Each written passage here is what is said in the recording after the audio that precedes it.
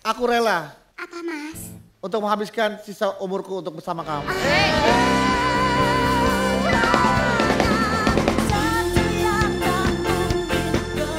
Mati aku jadi panas dalam. Penasaran. The Masked Singer Indonesia, Rabu 22 November, jam 7 malam, hanya di GTV.